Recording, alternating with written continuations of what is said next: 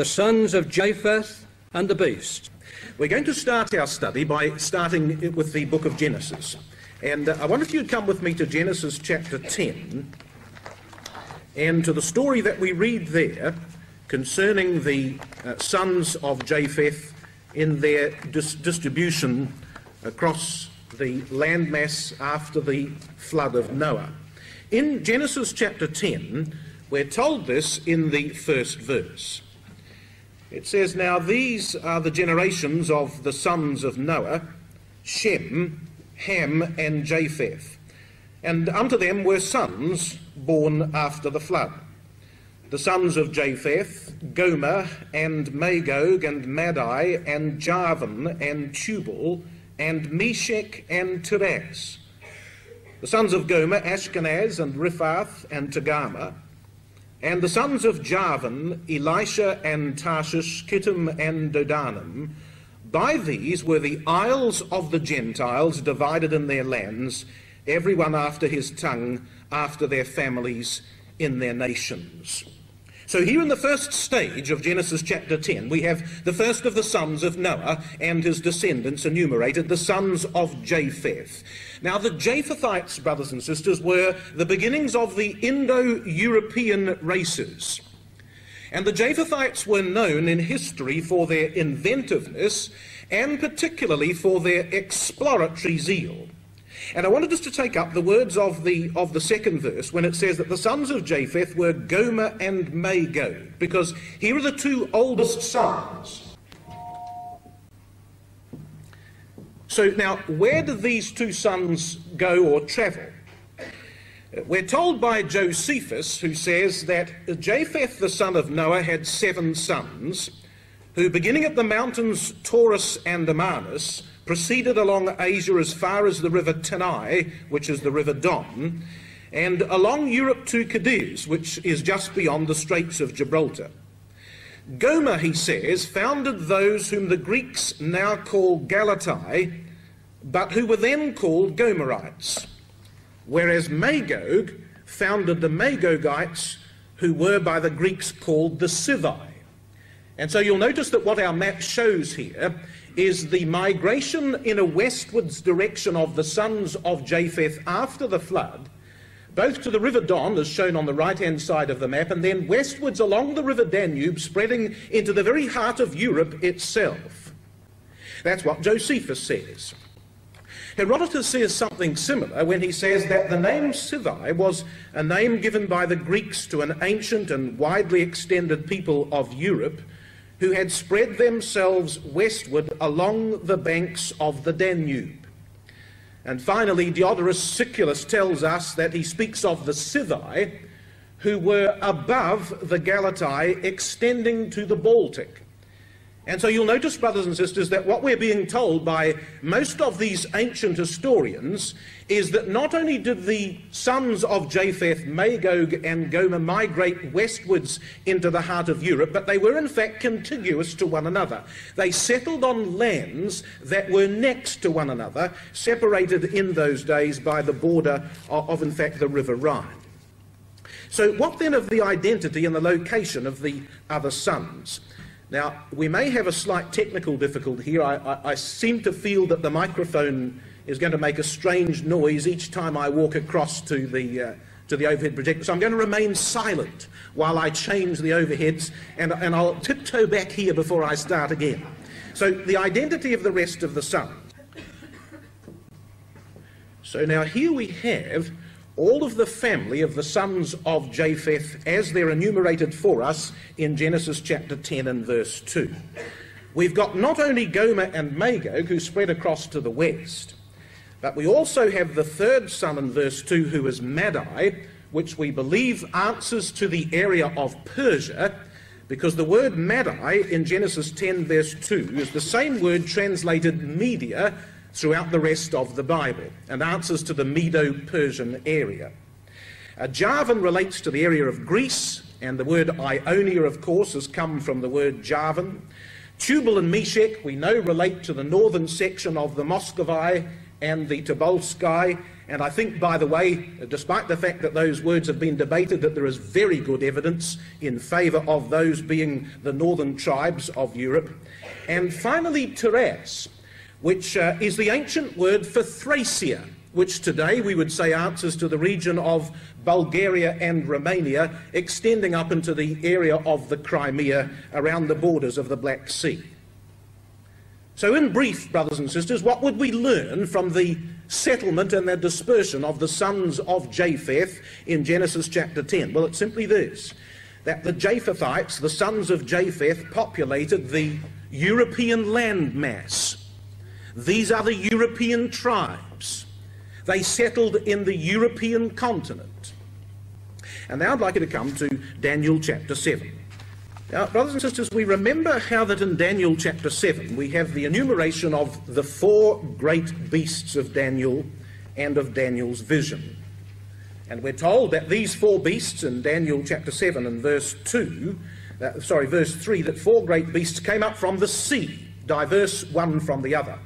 And we've always assumed from that, and I think rightly so, that all of the beasts, therefore, of Daniel 7 are in some way related to the sea area of the Mediterranean. That part of their land territory was associated with the Mediterranean Sea. And we know what the four beasts are. We know that the beast of the lion is the power of Babylon. We know that the, that the beast that follows of the bear is the power of Persia. We know that the leopard is the power of Grecia, and we know that the fourth and terrible and dreadful beast is the power of Rome. Now, what's interesting, though, about the fourth beast, brothers and sisters, well, let me just go through that. So, this is our standard interpretation, is it not, of Daniel chapter 2 and Daniel chapter 7. That the four beasts of Daniel 7 answer to the four stages of the, of the image of Daniel chapter 2. Now, the interesting thing about the fourth beast, the beast of Rome, there are two things that I think that we ought to note about it. The first is that it continues until the time of the end. Just notice what it says, by the way, in Daniel 7, verse 17. It says, These great beasts which are four are four kings which shall arise out of the earth, but the saints of the Most High shall take the kingdom and possess the kingdom forever and ever. Do you notice how that the kingdom and the saints and the establishment of the kingdom in verse 8 follows hard on the heels of the fourth beast of verse 17? There's no fifth beast, brothers and sisters. There never was, there never has been, there never shall be says Daniel chapter 7, verses 17 and 18. There are four beasts followed by the kingdom. So the Roman beast continues until the time of the end. That's the first important point for us to remember. And the second one is this is did you realize, brothers and sisters, that the fourth beast is European? Now, I'm just going to show you the location of the beasts. So now, if we come across the land mass and look at these four beasts in succession, on the right hand side, you will notice that we have just a sliver of land coming down the area of Palestine, which is coloured in that light orange, which is the, west, the, the westernmost extent of the kingdom of Babylon. When we come to the Medo Persian Empire, you'll notice that the green takes us a little further across through the area of Asia Minor, as it was called, and across the Bosphorus into the landmass of Europe, but only to a very small degree. When we come to the Grecian Empire, you'll notice that the red extra detail takes us a little further westwards again. But the Roman beast is essentially and especially and uniquely a Roman system, uh, uh, sorry, a European system. It's spread across the land map of Europe itself. And it's this beast, brothers and sisters, a European beast, that continues until the time of the end. So, and now we come to the book of Revelation and chapter 13. Now, in Revelation chapter 13, we have, of course, a whole variety of beasts that are delineated for us, and we believe that the beasts of Revelation 13 are rightly related to the fourth beast of Daniel chapter 7. Actually, we can tell that quite easily because do you know that if you look at the cross references in the margin of Revelation chapter 13, you'll find Daniel 7, Daniel 7, Daniel 7, Daniel 7, turning up over and over and over again throughout the length and breadth of Revelation chapter 13. We're being told, brothers and sisters, that the idea of the beasts of Revelation 13 are drawn from a previous prophecy, which of course is Daniel chapter 7. Now, what do we have then in Revelation 13? Well, we've got four different beasts or powers enumerated. We've got the dragon of verse 2. We've got the beast of the sea of verse 1. We've got the beast of the earth of verse 11. And we've got the image of the beast of, uh, of verses 14 and 15. And I think that in Revelation 13, we have both the idea of sequential movement and also of concurrent existence. Now, let me explain what I mean. Do you notice how in Revelation 12, verse 17, it says, The dragon was wroth with the woman, so the dragon is in existence. And then chapter 13, verse 1 says, I saw the beast of the sea, I saw the sand of the sea, and the beast rise up out of the sea, and the dragon, verse 2, gave him his power. So I think that what we assume from that, and rightly so, is that the dragon in this case existed before the beast of the sea in order to give power to the beast of the sea. And likewise in verse 11 it says, I beheld another beast coming up out of the earth, and he had two horns like a lamb, and he spake as a dragon, and he exercises all the power of the first beast that came before him. So there is some idea of sequence, isn't there, in Revelation chapter 13? And yet I think also that the symbols of Revelation 13 are to be treated as concurrent symbols. Because if the dragon of verse 2 gives power to the beast of the sea in verse 2, then we assume that both the dragon and the beast are alive at the same time. And if the beast of the earth of Daniel chapter 13 and verse, uh, verse 10 exercises power before or in the presence of the first beast in verse 12, then we assume that both the beast of the sea and the beast of the earth are likewise in existence at the same time. And if the beast of the earth has power in verse 15 to give life unto the image of the beast, then we assume that both the beast of the earth and the image of the beast are likewise alive at the same time. So, so what do we have then in Revelation chapter 13? What we've got, brothers and sisters, is the story of Daniel's fourth beast and the outworking of its history in Europe.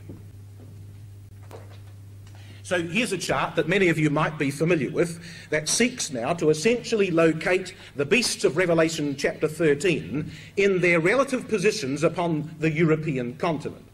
So we have the dragon of the east based in Constantinople, we have the beast of the sea, that is in the, in the westernmost portion of Europe, the beast of the earth to the north of that, and the image of the beast to the south of that in the area of Italy. Now, I'm only going to talk about the two beasts this morning, brothers and sisters, just the beast of the sea and the beast of the earth. The beast of the sea has relationship to things Mediterranean. And you'll notice that what the chart shows is that the beast of the sea was considered to be the Mediterranean countries, but especially France.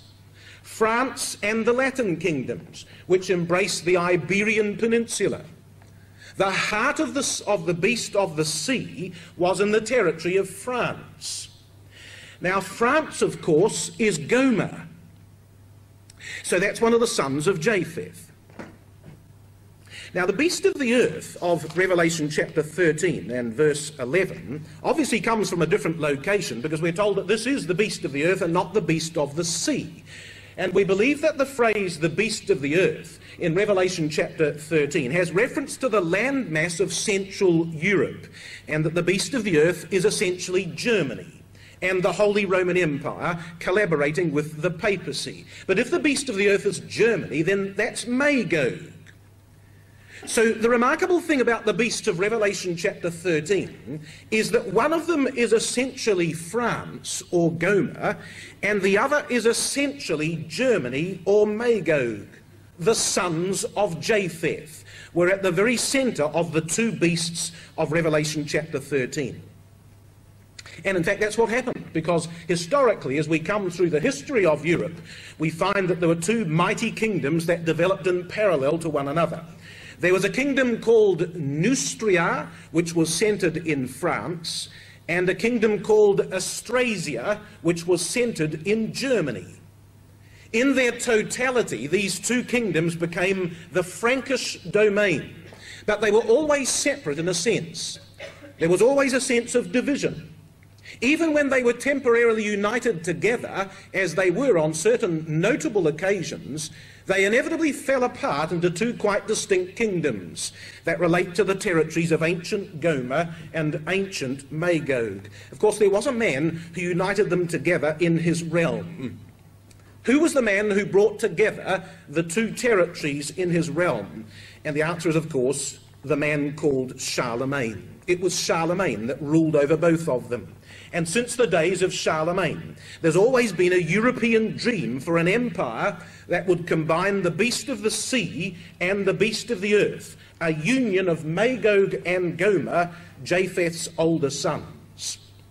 Now, I'm just going to take you now through some history from the time of Charlemagne onwards, just to see what happened in terms of, well, more particularly the Holy Roman Empire, but to see how that France and Germany were clearly seen to be two distinct units in the history of Europe. So then here's our first map. Now, this is the Holy Roman Empire in the year 814. This is the year that Charlemagne died.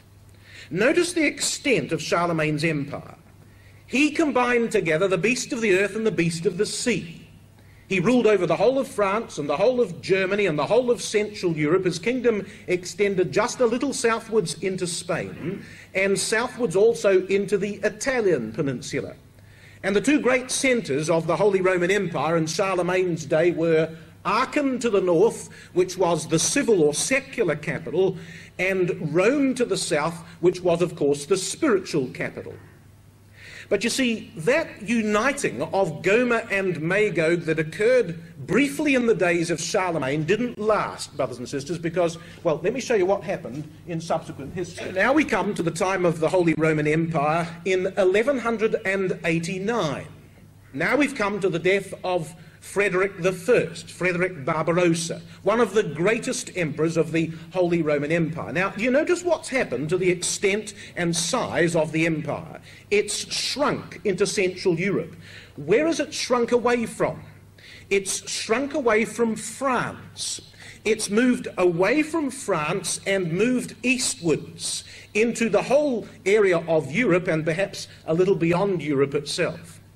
So there was a distinction emerging here between France, which would be in history a quite separate kingdom, and Germany, which would be the Holy Roman Empire. Because, of course, the Holy Roman Empire later became known the Holy Roman Empire of the German people. Oh, you notice the capital's changed as well. The civil capital has moved from Aachen now to Frankfurt. It's becoming thoroughly Germanic in its character. The spiritual capital is still Rome, but there's been a change.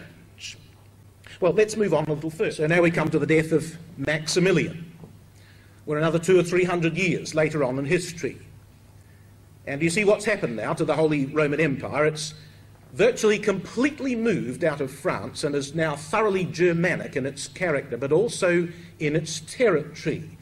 And you'll notice how that the the, the, the, uh, the, western border of the empire is virtually down the dividing line between France and Germany that we see today.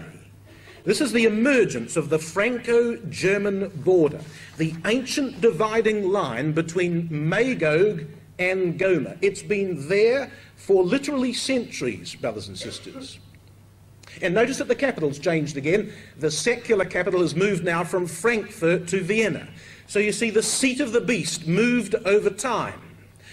Well, we know that it was the work and the responsibility of Napoleon to pour out judgments upon the beast, and that, that Revelation 16 is largely the story of the work of the vials, that the beast system of Europe might be judged. In fact, we might say that the beast came to an end with the dissolution of the Holy Roman Empire, which occurred in what year? Anyone know what year it was? 1806, absolutely correct on the 6th of August, to be precise, if I remember correctly, because on that day the emperor abdicated his title as emperor of the Holy Roman Empire. And one could truly say that, in a sense, the beast system had come to an end at that time, 1800. And yet, the remarkable thing is that the Bible, and particularly the book of Revelation, clearly tells us that there will be a beast system at the time of the end. So, here are the references. The Bible requires a latter day beast. Revelation chapter 14 and verse 11 says, And the smoke of their torment ascended up forever and ever, and they have no rest day or night who worship the beast and the image. But Revelation 14, brothers and sisters, is set at the time of the return of Christ and the preaching of the gospel to all the world that they should fear God because his judgments are coming. And yet the beast is referred to in Revelation 14. In Revelation 15, it says, I saw as it were a sea of glass mingled with fire, and them that have gotten victory over the beast and over his image. But Revelation 15 is the song of the redeemed at the time of the end. In Revelation chapter 16, it says, I saw three unclean spirits like frogs come out of the mouth of the dragon, and out of the mouth of the beast, and out of the mouth of the false prophet, and they gather all together to the battle of Armageddon. But that's the time of the end, brothers and sisters. And yet Revelation 16 says there's a beast there at the time of the end. Revelation chapter 17 says, These have one mind and shall give their power and strength unto the beast these shall make war with the Lamb, and the Lamb shall overcome both them and the beast. But that's the time of the end, is it not? And finally, Revelation chapter 19 and verse 20 says, And the beast was taken, and with him the false prophet, and these were both cast alive into a lake of fire burning with brimstone. But Revelation 19 is about the Lord Jesus Christ riding forth with his armies to do judgment upon the nations. But there's a beast alive, says Revelation chapter 19. So there's going to be a revival of the beast system at the time of the end. Now, where was that beast, brothers and sisters, in ancient times? And the answer is well, it's a Japhethite beast. It dwells in Europe, it's lived in Europe all its life. Now, you notice that none of those passages tell us whether the final form of the beast is the beast of the sea or the beast of the earth. What thinkest thou? Which one do you think it might be, brothers and sisters, at the time of the end? Well, I'm going to suggest to you today that I think quite possibly it's going to be both. And I'll tell you why. If you just come to Revelation chapter 16 and verse 13, so this is one of these references that we've had to the latter day beast. Now, let me just take you back to an earlier overhead. Do you notice that Revelation 13 talks about four powers? I'm going to ignore the dragon just for a moment because the dragon is a separate story. Well, no, I'm going to speak about all four the beast of the earth, the beast of the sea, the dragon of the east, and the image of the beast. Now, do you notice that those four symbols in Revelation chapter 13 become just three symbols in Revelation 16? Because Revelation 16 says in verse 13, And I saw three unclean spirits like frogs come out of the mouth of the dragon, and out of the mouth of the beast, and out of the mouth of the false prophet. Only three. Four symbols in Revelation 13 become only three symbols in Revelation 16. So the answer is, of course, what symbols answer to what in these two respective chapters? Well, the first one's quite easy because is there a dragon in chapter 13? Yes. Is there a dragon in chapter 16, verse 13? Yes. So the dragon answers to the dragon. Why, yes. I think we can safely assume that to be the case. Now, the image of the beast of Revelation chapter 13, we believe that there is very good evidence for suggesting that that is the false prophet of Revelation 16. In fact, one of the things that ought to be noted concerning interpretations as to who or what the false prophet of Revelation chapter 16 might be is that whoever the false prophet is of Revelation 16, he was once the image of the beast of Revelation 13, and you need to explain the difference between the two and why his name has changed. Why does the image of the beast of Revelation 13 suddenly become the false prophet in chapter 16? Why the change of name? And why does his name change at the time of the vials? Whatever interpretation you might give to the false prophet, you must explain those questions. But I believe that the image of the beast of Revelation 13 answers to the false prophet of chapter 16 for certain excellent reasons that were outworked in the historical development. Now, what does that leave us in Revelation 16? Answer just the beast. So, what must that relate to of Revelation chapter 13? And I think the answer is the beast of the sea and the beast of the earth, all rolled into one, brothers and sisters, at the time of the end. That the revival of the beast system at the time of the end of Revelation 16 answers to both the beasts of Revelation chapter 13. And if it is to be both, then it must include not only France and Germany, but they must be at the very heart of the system because they were at the center of the respective beasts of earlier days. The beast of the sea was France, the beast of the earth was Germany. If the latter day beast is a combination of those two, then we expect to see France and Germany at the very heart of the story in the latter days. What's interesting about that is that do you know that 150 years ago we would have deemed that to be quite impossible? That France and Germany would collaborate together as a system of the revival of the beast in the latter days. 150 years ago. Where were we 150 years ago in history? Well, around about 1850, halfway through the 1800s. France and Germany were bitter rivals in those days. They were at war. 1870 was the Franco Prussian War. There was tremendous conflict between France and Germany 150 years ago, brothers and sisters. You never would have imagined that it would be possible that France and Germany would be at the center of a revived beast in the latter days.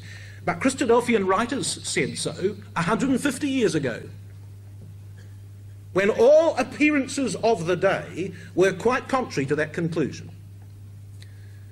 And of course, it was said so, brothers and sisters, simply because the Bible indicated it to be so in Revelation chapter 16. I think that the possibility of a Franco German beast was impossible a hundred years ago. In fact, I think it was most unlikely 50 years ago. Where were we 50 years ago? Emerging from the horrors of World War II. Did World War II involve the conflict of France and Germany? Oh, yes. And yet, the beast of the latter days, we believe, will be not only a European beast, but was to involve those two particular powers. Well, of course, the remarkable thing is that round about 50 years ago, a new force arose that began to confederate Europe. Together. So, after World War II, this is the face of modern Europe. It wasn't going to be Hitler, it wasn't going to be Napoleon, it wasn't going to be Bismarck that would be able to confederate Europe together at the time of the end.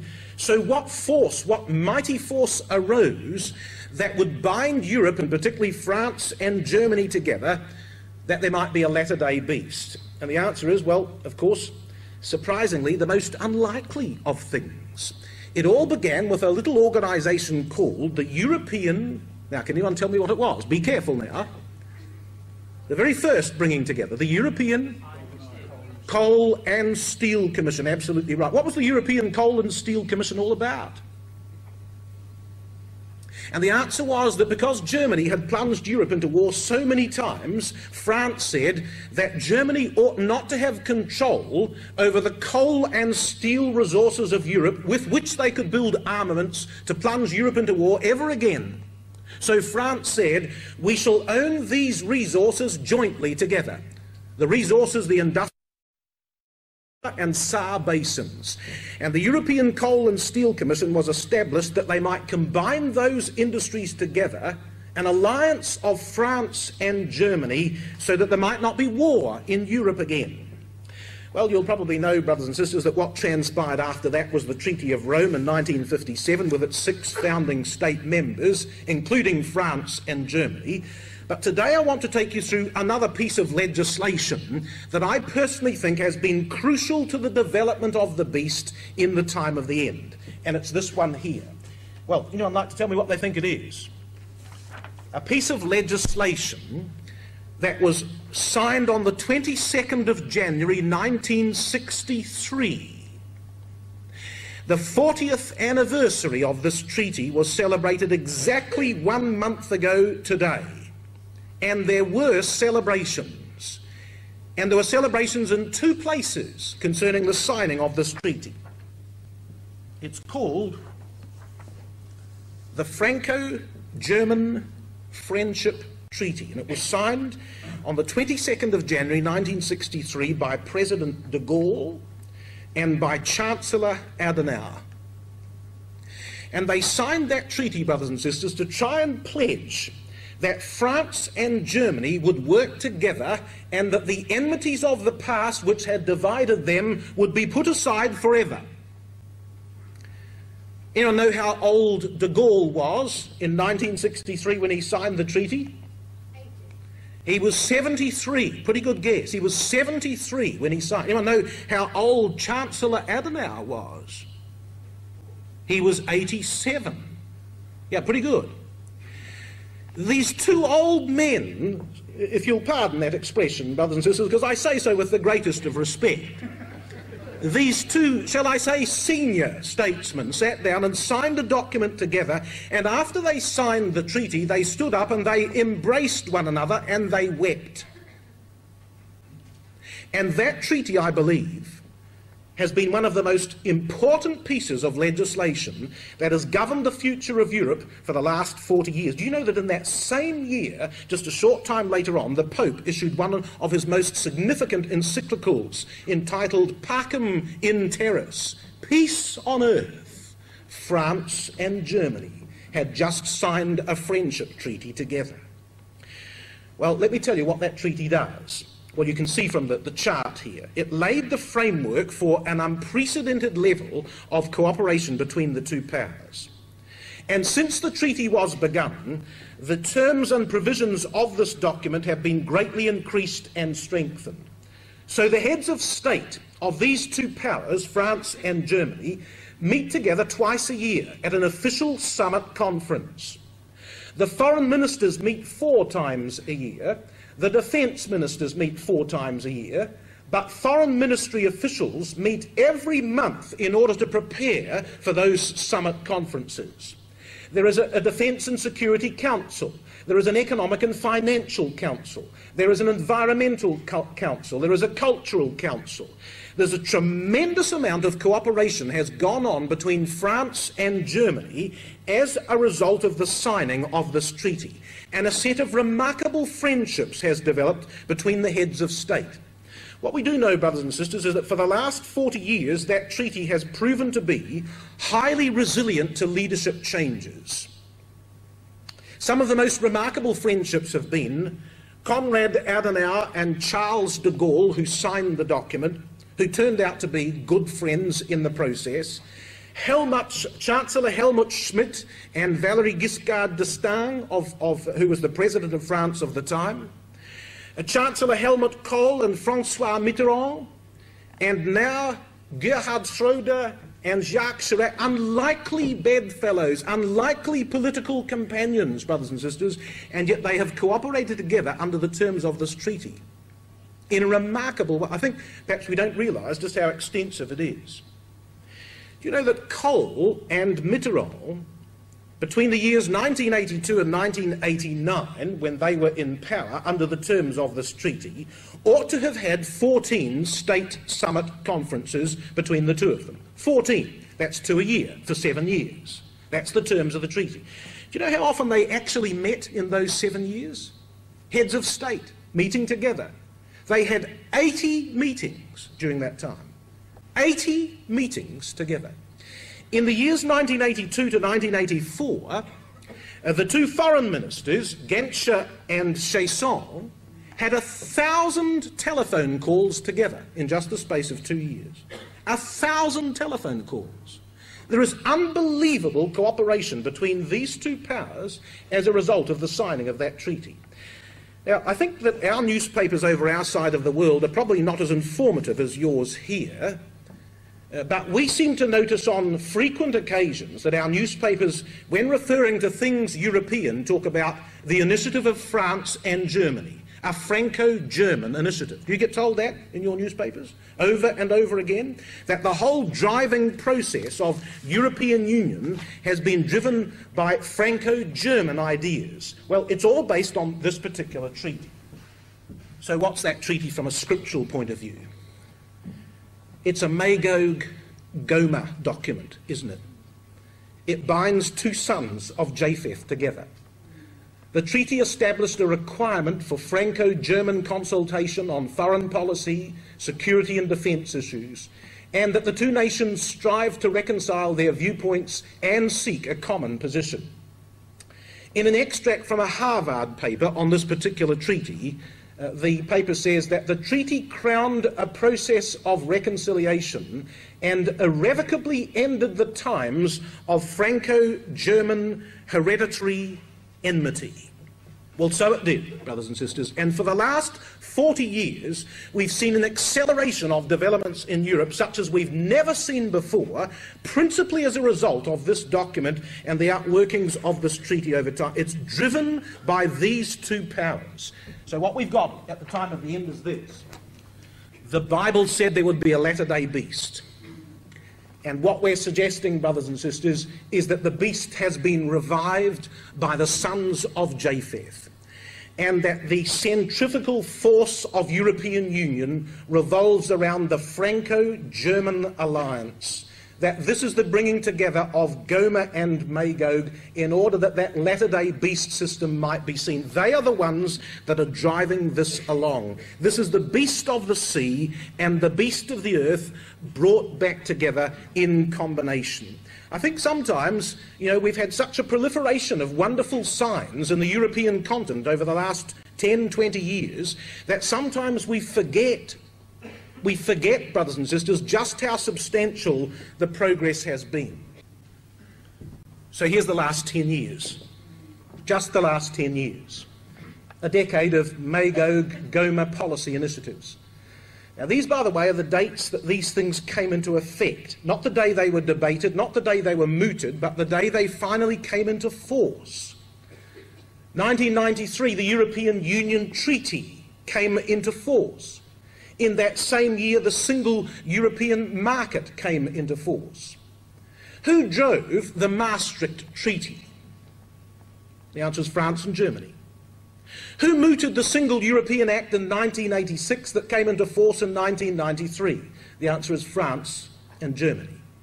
In 1993, the European Monetary Union Agreement came into force. Who was the driving force behind the EMU process and documentation?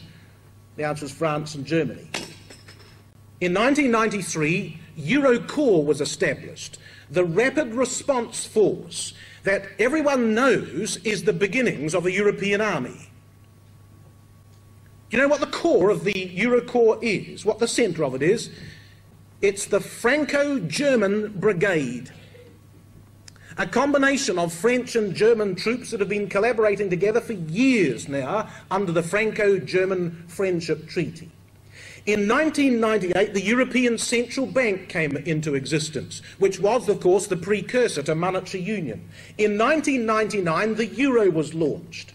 Who was it, brothers and sisters, that said, and rightly so, that the loss of one's currency is the greatest abandonment of sovereignty that a country could ever have. The giving up of one's currency. Well, it happened in Europe in 1999, as we all know. I was there, brothers and sisters, on the day of the changeover. I was actually in Germany on the day. And there were queues of people lined up at the banks to march in with their Deutschmarks and march out with their euros. And the beginning of union was underway. The currency had been changed over. Who drove that whole process? Indeed, the Catholics. But France and Germany were the greatest force to argue the launching of the euro. And now we come to 2002. Now, you might not see that, so let me just put it up. 2002.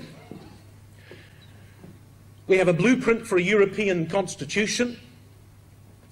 We have the merging of the European treaties, that which established the European Parliament and that which established the European Commission. We have the promulgation of the notion of a European president, which of course the Habsburgs would like to be an hereditary title, and that he should wear the crown of Charlemagne in the course of his presidency. We have the establishment of a European diplomatic corps and of embassies. That's all been mooted in 2002. You know, brothers and sisters, 20 years ago this was all unthinkable. Absolutely unthinkable. It's happened with such astounding speed, and every one of the initiatives on that particular overhead, brothers and sisters, came from two powers acting in concert together Magog and Gomer. They are all policy initiatives led by France and Germany. So, this is what it looks like now the key centres of the latter day beast. You'll notice that in Brussels we have the European Commission, the European Council, the European Economic and Social Committee, and the Committee of the Regions. Down below Brussels in the city and state of Luxembourg, we have the European Court of Justice, the European Court of Auditors, and the European Investment Bank. A little further down in Strasbourg, we have the European Parliament, we have the European Ombudsman, and we have the, the, uh, the location of Eurocorps. And across in Frankfurt, we have the European Central Bank. So we might say that the capital of the Roman system, the beast of the latter days, has moved from Aachen to Frankfurt to Vienna to Brussels. It's alive and well. The fourth beast of Daniel is alive and well and living in Brussels. And you notice something interesting, brothers and sisters, about those three particular centres of European power Brussels, Luxembourg, and Strasbourg. You see where they all are? They all sit on the dividing line between Magog and Gomer. They sit right down the middle. They straddle the ancient dividing line between Magog and Gomer. This is the central system of the beast at the time of the end. And of course, our expectation of these things was not just based on the book of Revelation, it was based on the book of Ezekiel as well. And that takes us back to our reading in Ezekiel 38. Now, in Ezekiel 38, we have, of course, a very famous prophecy, well known to Christadelphians, about a confederacy of the latter days. We know that the term latter days is a phrase used in Ezekiel 38. Just a couple of things of, of interest about Ezekiel 38. In verse 1, it says that the word of the Lord came unto me, saying, Son of man, set thy face against Gog of the land of Magog that certainly seems to be what a number of other translations say, by the way. Gog of the land of Magog. That's what the Revised ver- Version says. Uh, that's what uh, uh, translation says. Now, do you know that Gog is the ancient name for a mighty leader of the Scythians? The Scythians, brothers and sisters, were Japhethites. The Scythians answer to Magog. So whoever, whoever this man is and whatever he leads, his title from ancient times is that of a leader of the Scythians or Japhethite tribes.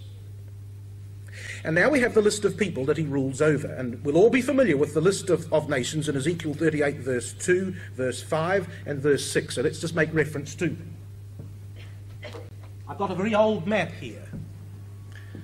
And this old map tells us what the location is of, of the powers that are mentioned in Ezekiel 38. Son of man, set thy face against Gog of the land of Magog, the chief of Rosh, Meshech, and Tubal.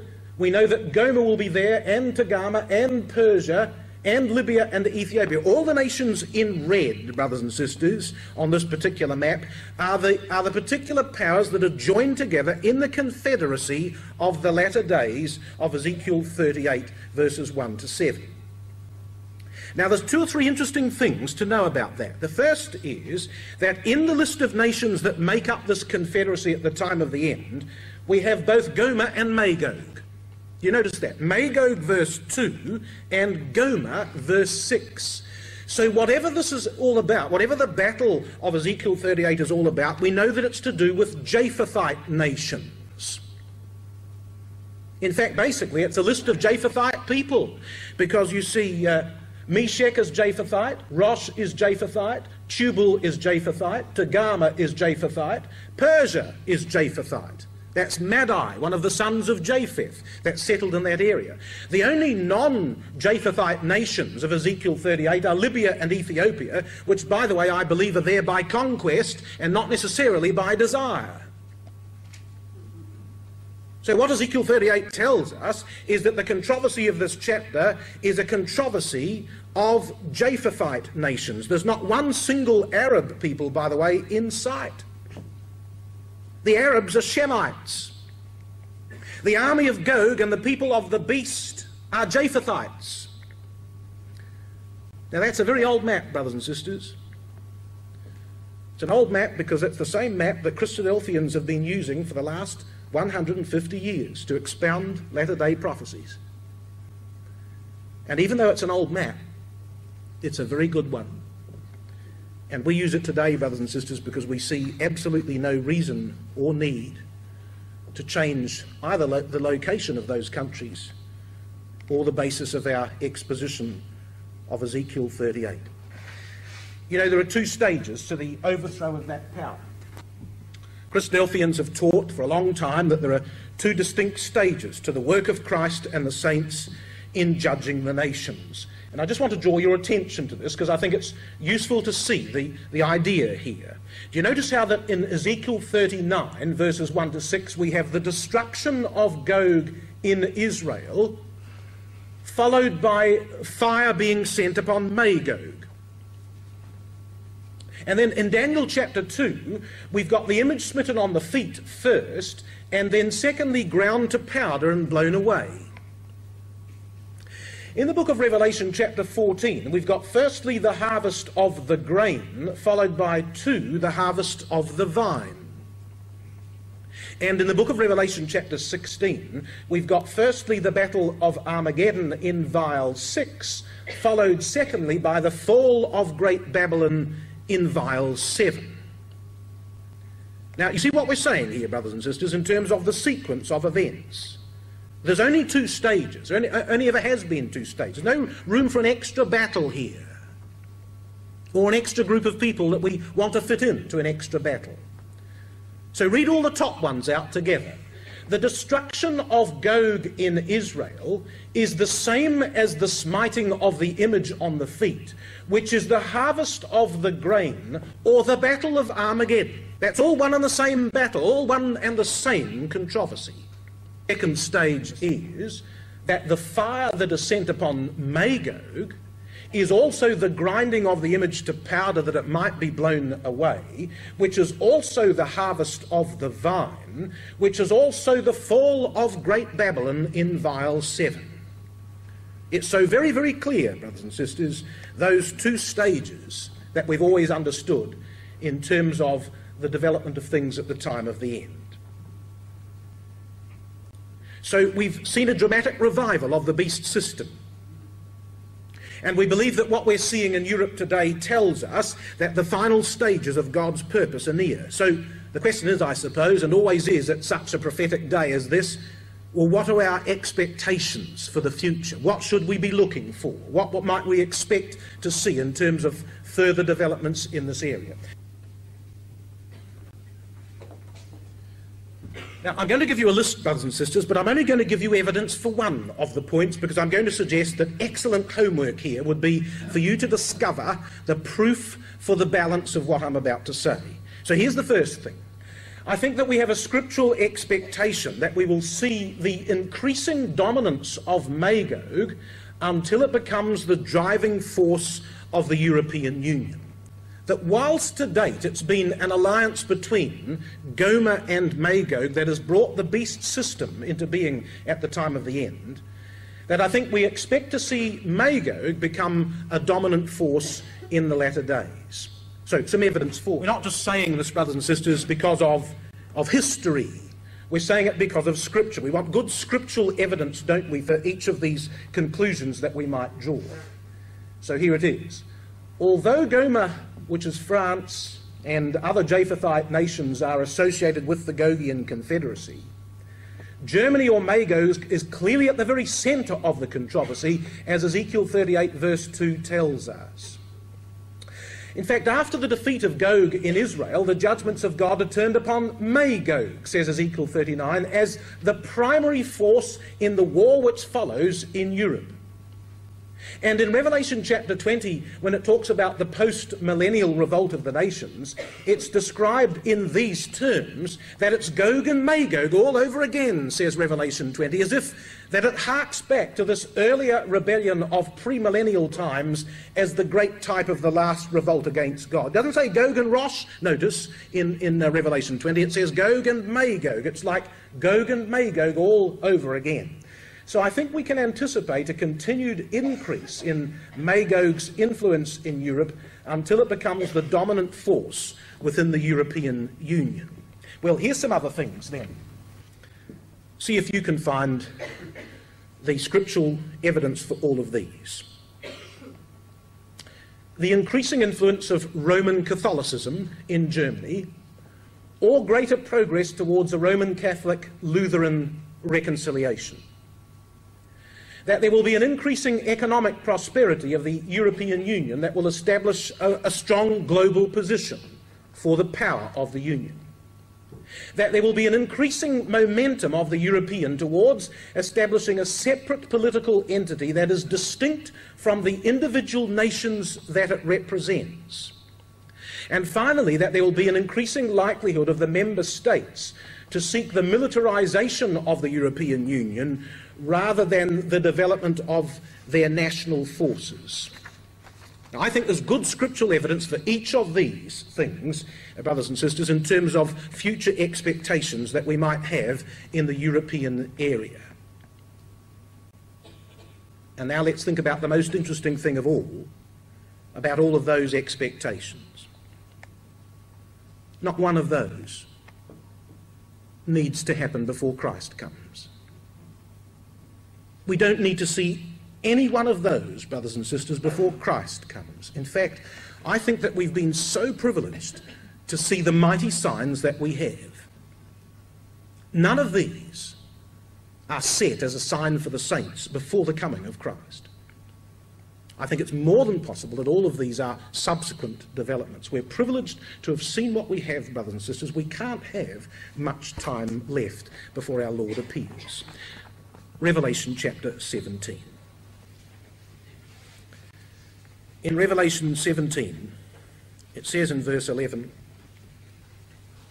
And the beast that was and is not, even he is the eighth, and is of the seven, and goeth into perdition. Remarkable phrase, by the way. It's used three times in Revelation chapter 17, is it not? The beast that was and is not and yet is. The beast that was and is not and yet is. You see, this is the story of the Roman beast in Europe through all the vicissitudes of its career for 2,000 years of history. The beast that was and is not and yet is. This beast appears at the time of the end, and verse 12 says, The ten horns which thou sawest are ten kings, which have received no kingdom as yet, but receive power as kings one hour with the beast. These have one mind, and shall give their power and strength unto the beast.